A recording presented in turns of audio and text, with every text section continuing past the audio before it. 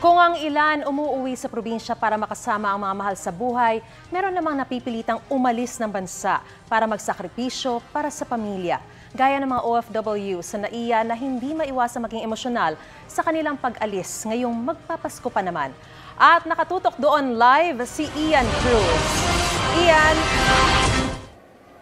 Maris, kumpara doon sa mga nagdaang ah, Disyembre ay higit na mas kakaunti ang mga pasaherong ah, parating at paalis dito sa NAIA. Pero ang hindi pa rin maalis ay ang ah, bigat ng kalooban sa kanilang pangingibang bansa at pag-alis ng Pilipinas.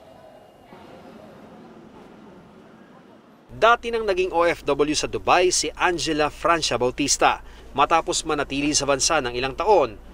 Dahil sa epekto ng pandemya sa kanilang kabuhayan, kailangan na muli niyang mag-abroad.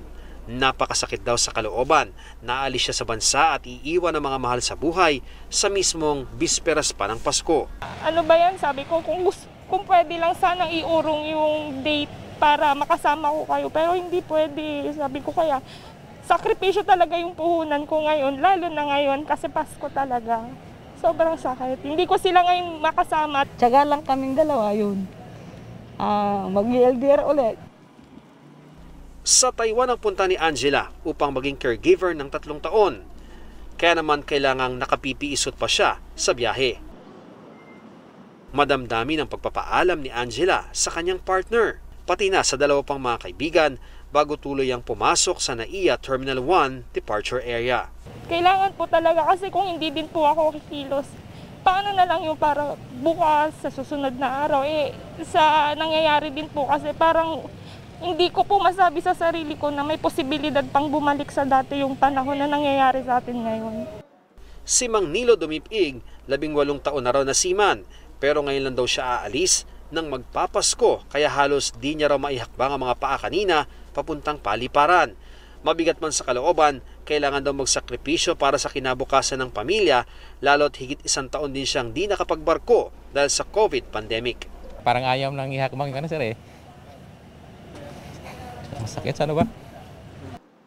Sa arrival area naman ng NAIA Terminal 3, nakausap namin ang ilang nagbalikbayang Pinoy na di agad makakasama ang mga kaanak dahil kailangan pa nilang hintayin ng resulta ng PCR test na ginawa sa paliparan. Siyempre malungkot, pero ayun, okay lang. Importante nasa Pinas na ako. Actually, iba yung nafe-feel ko nung na- nasa Manila na talaga ako. May balikbayan din na isang buong pamilya kaya di nila alintana na sasalubong ng Pasko sa hotel habang hinihintay ang resulta ng kanilang PCR tests. Okay lang, we're together naman, we're family, so Okay lang sa it's fine. May mga domestic passengers din sa departure area ng NAIA Terminal 3 na naghahabol makauwi ng probinsya bago ang Pasko. Ang iba sa kanila, dito na sa NAIA sa salubungin ng Pasko para di raw maiwan ang maagang flight sa araw mismo ng Pasko. Ito na ako magpapasko. Dito ka lang mag-ano, matibela. Opo. Ibaong ka. Wala po, bibili na lang.